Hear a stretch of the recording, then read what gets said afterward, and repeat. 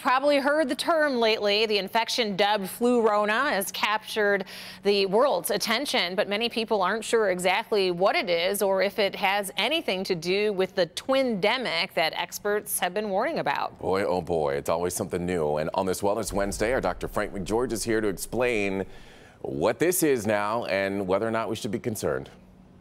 I think the biggest reason Flurona has received so much attention lately is because it was given a catchy name.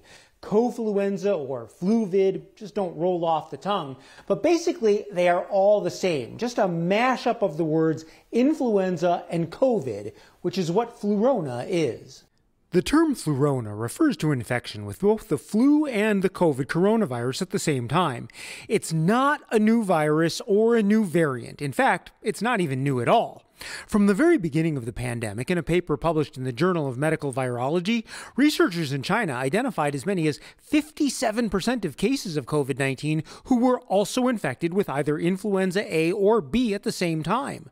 Now, a subsequent paper published in JAMA by researchers in the United States found a much lower rate of co infection with the flu, only about 1%. But that paper did find other viruses besides the flu in 20% of people with COVID.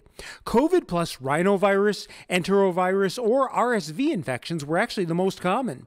Symptoms of a simultaneous COVID and influenza infection aren't likely to be much different than an infection by either one of the viruses alone.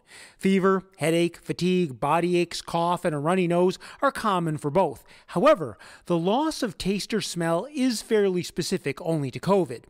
Now, the real question is whether being infected with both viruses at the same time is more dangerous. Based on data from early in the pandemic, the answer appears to be yes, especially the combination of COVID and influenza B. Now, at this point in the pandemic, it isn't clear how much more dangerous a combination infection would be, since we now have vaccines for COVID as well as treatments to limit severe illness. Now, most hospital labs have the capacity to test for both influenza and COVID with the same nasal swab specimen.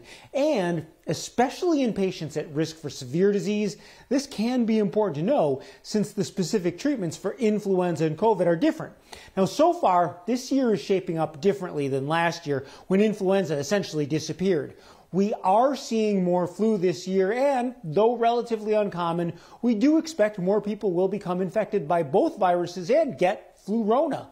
Now, in case it's not obvious, the best protection is to get vaccinated against both COVID and the flu.